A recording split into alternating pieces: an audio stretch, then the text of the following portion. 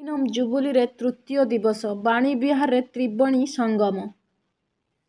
ବାଣୀବିହାରରେ ପ୍ରତି ମାତୃସୁଲଭ ଆତ୍ମୀୟତା ଆଜି ବି ଟାଣି ଆଣିଥିଲା ଶହ ଶହ ପୁରାତନ ଛାତ୍ରଛାତ୍ରୀଙ୍କୁ। ଟାଣି ଆଣିଥିଲା ଶହ ଶହ ପୁରାତନ ଛାତ୍ରଛାତ୍ରୀଙ୍କୁ। ତେବେ ଗୋଟିଏ ମଞ୍ଚରେ ଗୁରୁ ଶିଷ୍ୟ ଅଭିଭାବକ ତ୍ରିବେଣୀ ସଙ୍ଗମ ବାଣୀବିହାରରେ ଗରିମା ଆହୁରି ବଢ଼ାଇ ଦେଇଥିଲା।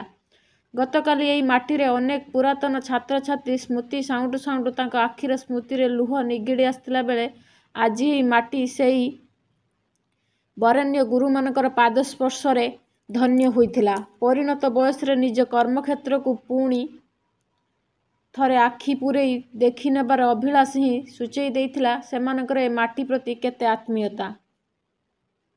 ହାଲ୍କା ଶୀତର ପରଶ ଓ କୁହୁଡ଼ିର ଚାଦରକୁ ଖାତିର ନ କରି ସକାଳୁ ବାଣୀବିହାରକୁ ଶିକ୍ଷକମାନଙ୍କର ସୁଅ ଛୁଟିଥିଲା କାର୍ଯ୍ୟସୂଚୀ ମୁତାବକ ଆଜି ଅବସରପ୍ରାପ୍ତ ଶିକ୍ଷକ ଓ ଅଧ୍ୟୟନରତ ଛାତ୍ରଛାତ୍ରୀଙ୍କ ଅଭିଭାବକ ସମ୍ମିଳନୀ ଥିଲା। ମାତ୍ର ଗତକାଲି ନିଜ ବିଶ୍ୱବିଦ୍ୟାଳୟର ମାଟି ମାଡ଼ି ପାରି ନଥିବା ପୁରାତନ ଛାତ୍ରଛାତ୍ରୀ ଆଜି ବି ଏକାଠି ହୋଇଥିଲେ। ଅନେକ ଛାତ୍ରଛାତ୍ରୀ ନିଜର ପୁରୁଣା ଦିନର ଗୁରୁମାନଙ୍କୁ ଦେଖିବା ପାଇଁ ଚାଲି ଆସିଥିଲେ। ଗୁରୁମାନେ ବି ଛାତ୍ରଛାତ୍ରୀଙ୍କୁ ଦେଖିବା ମାତ୍ରେ ପଚାରି ଦେଉଥିଲେ ଆରେ କେମିତି ଅଛ?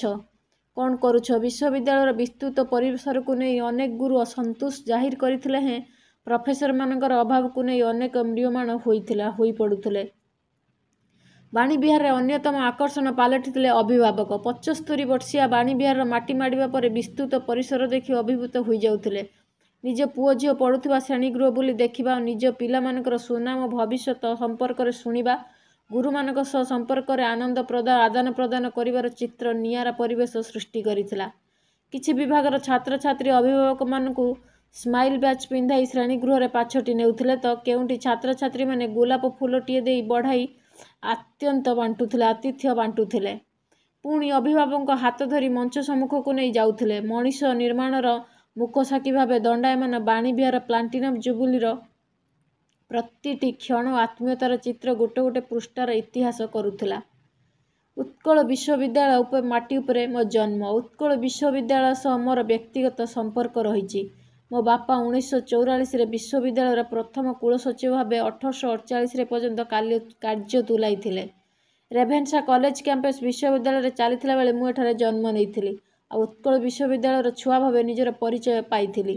ତେଣୁ ଉତ୍କଳ ବିଶ୍ୱବିଦ୍ୟାଳୟ ମୋର ଜନ୍ମମାଟି ବୋଲି ଗୁରୁଜୀ ଚନ୍ଦ୍ରଭାନୁ ଶତପଥୀ କହିଛନ୍ତି। ଓଡ଼ିଆ ଭାଷା ସମ୍ପର୍କରେ ସେ କହିଥିଲେ ମୁଁ ଏଠାରେ ଓଡ଼ିଆରେ କହିବି କାରଣ ମାଟିର ଭାଷା ମାଟି ହିଁ ବୁଝିବ। ତାପରେ ସତେଇଶରେ କୁଳପତି କୁଆଡ଼େ ଗଲେ?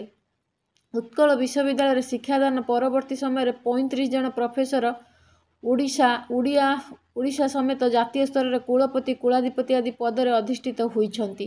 ତେବେ ସେମାନଙ୍କୁ ପ୍ରାୟ ଆଜି ପ୍ରାୟ ଆଠ ଜଣଙ୍କୁ ଦେଖିବାକୁ ମିଳିଥିଲା। ବାକି ପ୍ରାୟ ସତେଇଶ ଜଣ ଆସିନଥିଲେ କେତେଜଣ କୁଳପତି କହିଛନ୍ତି ଆମକୁ କେହି ଡାକି ନାହାନ୍ତି। ପ୍ଲାଟିନମ୍ ଜୟନ୍ତୀ ପାଳନ ହେଉଛି ବୋଲି ଗଣମାଧ୍ୟରୁ ଯାହା ଜାଣିବାକୁ ପାଉଛୁ। ଆଉ କିଛି ଜଣ କହିଛନ୍ତି ଯେ ଏଠି ରାଜନେତା ଓ ପ୍ରଶାସନଙ୍କ ମିଳନ ଚାଲିଛି। ଆମକୁ ପଚାରେ କିଏ? ଅତିଥି ସଂଖ୍ୟାରେ ବି ଭୂତାଇଲେ।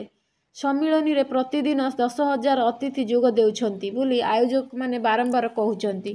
ତେବେ ଆଜି ଅତିଥିଙ୍କୁ ଖାଇବାକୁ ନ ମିଳିବା ପରେ ପ୍ରକୃତ ତଥ୍ୟ ପଦାକୁ ଆସିଛି। ଆୟୋଜକମାନେ ଗଣମାଧ୍ୟମ ସମେତ ସାଧାରଣ ଲୋକଙ୍କୁ ଭୁଆ ବୁଲାଇଥିବା ଜଣାପଡ଼ିଛି। ଉତ୍ସବ ପାଇଁ ଟେଣ୍ଟ ସଂସ୍ଥା ମୋଟ ପାଞ୍ଚ ହଜାର ଚେୟାର ଦେଇଥିଲା ବେଳେ ସେଥିମଧ୍ୟରୁ ମାତ୍ର ଚାରି ହଜାର ଚେୟାର ପଡ଼ିଛି। ଆହୁରି ଆଠଶହରୁ ଏକ ହଜାର ଚେୟାର ପଡ଼ିପାରିନି। ପଛ ପାର୍ଶ୍ୱରେ ଥୁଆଯାଇଛି। ନାଁ କମେଇବା ପାଇଁ ଏଭଳି ମିଥ୍ୟା ତଥ୍ୟ ଦେବାର କାରଣ ବୋଲି ଏମାନେ ପ୍ରଶ୍ନ ଉଠାଇଛନ୍ତି। ଅତିଥିକୁ ବି ଖାଇବାକୁ ମିଳିଲାନି।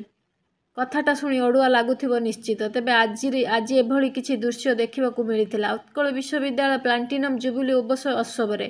ଛାତ୍ରଛାତ୍ରୀଙ୍କ ଅଭିଭାବକ ଓ ପୁରାତନ ପ୍ରଫେସର କର୍ମଚାରୀଙ୍କୁ ଅତିଥି ଭାବେ ଉତ୍ସବକୁ ଡକାଯାଇଥିଲା। ସମସ୍ତ ବ୍ୟବସ୍ଥା ହୋଇଛି ବୋଲି ବିଶ୍ୱବିଦ୍ୟାଳୟ କର୍ତ୍ତୃପକ୍ଷ ବାହାସ୍ପଟ ମାରୁଥିଲେ। ତେବେ ମଧ୍ୟାହ୍ନ ବେଳକୁ ଆୟୋଜନର ଅବ୍ୟବସ୍ଥା ପଦାରେ ପଡ଼ିଥିଲା। ଅତିଥିଙ୍କୁ ଖାଇବାକୁ ମିଳିନଥିଲା।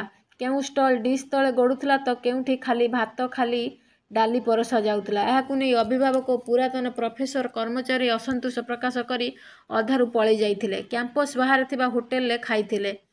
କିଛି ଛାତ୍ରଛାତ୍ରୀ ଖାଇବାକୁ ନ ପାଇ ରୋଷେଇଶାଳ ଭିତରେ ପଶି ଭାତ ଓ କ୍ଷୀରି ଡିସ୍ ଉଠାଇ ନେଇଥିଲେ। ଆଶ୍ଚର୍ଯ୍ୟର ବିଷୟ ହେଉଛି ଯେ ଗତକାଲି ବଡ଼ ବଡ଼ିଆ ବାବୁମାନେ ଅତିଥି ସେମାନଙ୍କୁ ଆତିଥ୍ୟ ଦେବାକୁ ସମସ୍ତେ ଆଗେଇ ଆସିଥିଲେ। ତେବେ ଆଜି ଅଭିଭାବକମାନେ ଅତିଥି ହୋଇଥିବାରୁ ସେମାନଙ୍କୁ ଆତିଥ୍ୟ ଦେବାକୁ କେହି ନଥିଲେ। ବିଶ୍ୱବିଦ୍ୟାଳୟର କୁଳପତି କୁଳସଚିବ ପିଜି କାଉନସିଲ୍ ଅଧ୍ୟକ୍ଷ ପ୍ରମୁଖ ମଞ୍ଚ ଉପରକୁ ଅତିଥିକୁ ସନ୍ତୁଷ୍ଟ କରିବାକୁ ଲାଗି ପଡ଼ିଥିଲେ।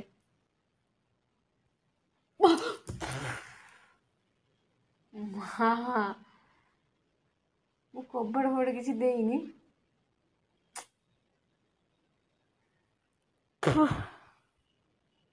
ଏଇ ନଦୀ